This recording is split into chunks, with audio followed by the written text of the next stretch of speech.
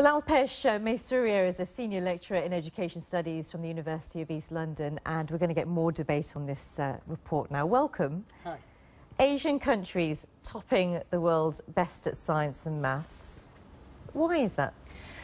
Well, I think there's a number of factors involved. I mean, the first thing to say here is that the actual league tables themselves, you've got to ask how they are compiled, what, they, what do they actually do, how legitimate is it um, what they are saying. Um, and I do think that these league tables, well, it's quite interesting for people like me, you know, academics to kind of uh, do things like this. Um, I think there's a lot of kind of contention in and around, for instance, the methodology that's used.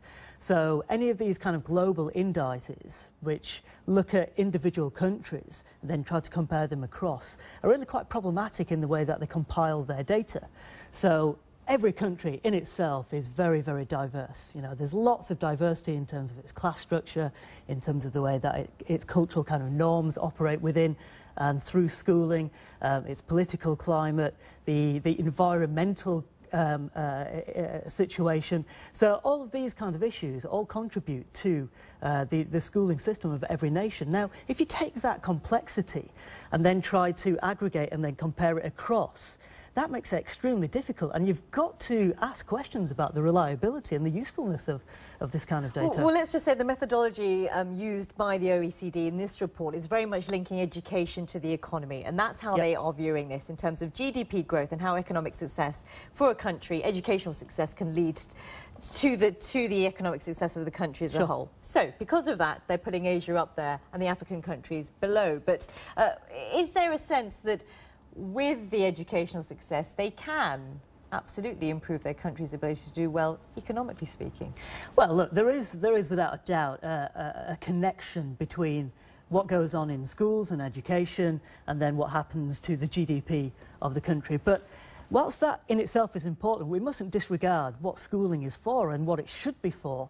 Um, whilst GDP is very important, you know, kind of going through the schooling system uh, in order to acquire the skills, the basic skills, as, as the report is called, the basic skills, and then contribute, uh, and that, uh, and then these children having these basic skills, getting the jobs, um, instrumentally then going into the into the professions, and that then contributing to the productivity of the, of the nation. Whilst that in itself is very, very important, there's a whole range of other things that schooling should be doing and is doing, but isn't being recognised in reports like this. So, for instance, the, the whole kind of creativity aspect, uh, the empowerment of children to be, uh, to be kind of dynamic individuals, to be able to contribute to uh, being a good citizen, to the political system, uh, just being a good neighbour, being nice to each other. These are the kind of things that schooling should develop. And it's not only about um, measurable outcomes through high stakes examinations. I think that's really, really problematic. And we, we mustn't forget that this report has a very, very narrow remit and definition of basic skills. Although, uh, in their defence, the education director of this report, Andrea Schleicher, said that if you go into any Asian classroom, you'll find teachers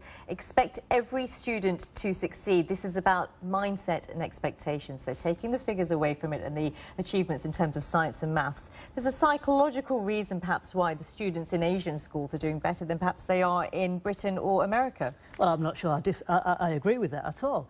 I think if you go into any classroom here uh, in this country, in England or in the United States of America or, or Sweden, which has, you know, um, gone down in the league tables, you will find that teachers are wholeheartedly involved in trying to do the best for their children. But the external conditions, the pressures that are imposed on them, um, for example, the political pressures to, to, to pass exams, you know, rote learn and so forth, that, that, that, that is simply not accountable in, in uh, reports like this.